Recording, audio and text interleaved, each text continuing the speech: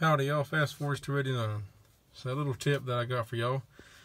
Anytime you go to get in your vehicle, don't never just start the vehicle up and just drive straight away. You always want to let the oil get pumped to the motor good, the transmission. That way you're not starting off cold. The engine can still be on the cold mark when you're driving, but you don't want to just crank up without any proper lubrication and just be driving off because you could spin a bearing, you know, anything like that, especially if you take off hard.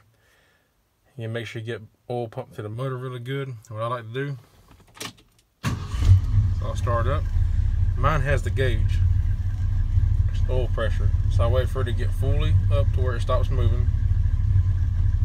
And I usually sit here for a few seconds, and maybe 10, 15 seconds, let everything get ran, pumped through properly. If you don't have the gauge and all you have is an oil light, well, don't worry, just sit here like 10, 15 seconds. Anyway, you know, 20 seconds, whatever at least 10 seconds. That way everything gets pumped through it really good.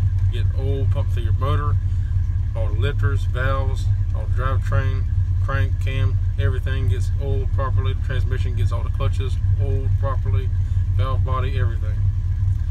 And also cooling system it gets circulating through, which you don't really need until it starts getting warm. But that way everything starts circulating.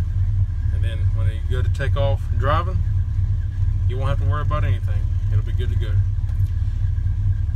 So, thank y'all for watching. If you like the video, thumbs up, consider subscribing, and uh, again, thanks for watching, and y'all have a good night.